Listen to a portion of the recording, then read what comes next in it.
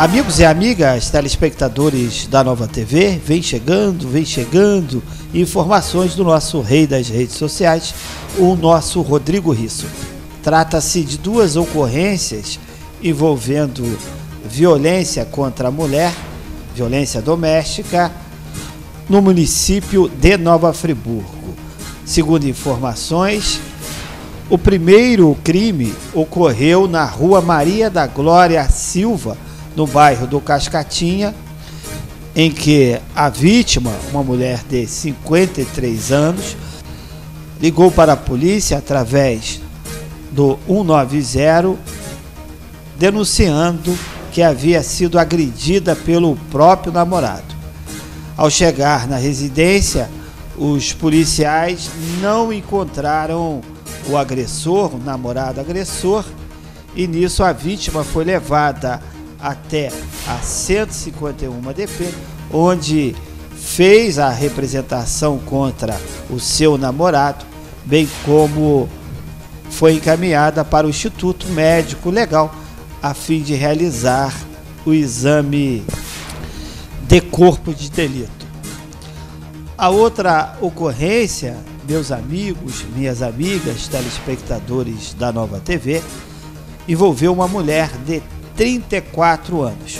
Segundo informações dos policiais, a vítima foi agredida por diversos socos deferidos pelo seu marido.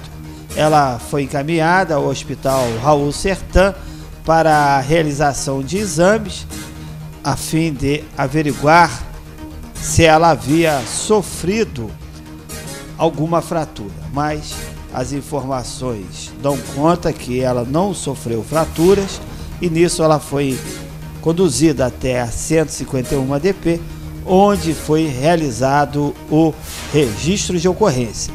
Lembramos ao telespectador da Nova TV que há um grande número de ocorrências envolvendo violência doméstica no município de Nova Friburgo.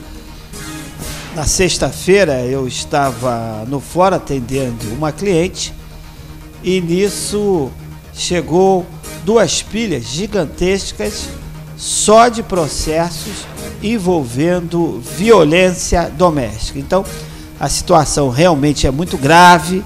A gente adverte principalmente aos homens no sentido de que evite praticar violência contra a mulher porque é crime. Se o relacionamento não está dando certo, é melhor separar, dar um tempo, mas nunca faltar com respeito ou praticar agressões, sejam de qualquer tipo, verbal ou física. Lembramos ao telespectador que o nosso telefone é o 2522 9058, o nosso WhatsApp é o 999090701. Nosso portal está aí.